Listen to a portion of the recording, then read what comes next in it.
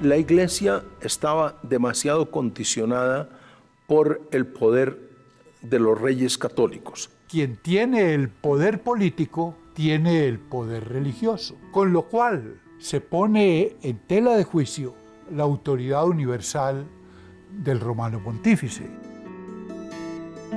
Y entonces ahí viene el problema, porque los jesuitas van a asumir una defensa especial pues, de la fe y tienen un voto especial de obediencia al Papa. Eran un cuerpo extraño porque ellos hacían todo lo posible por no depender del rey y eso hacía ruido.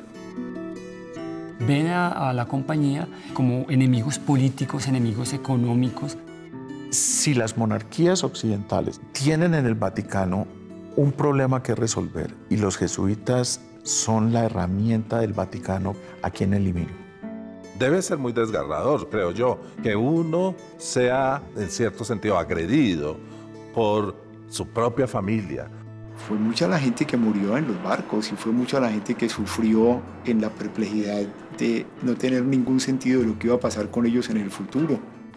La compañía no merece, si fue extinguida por un breve, requiere que sea y que regrese a vivir por medio de un documento solemne, que tiene que ser una bula.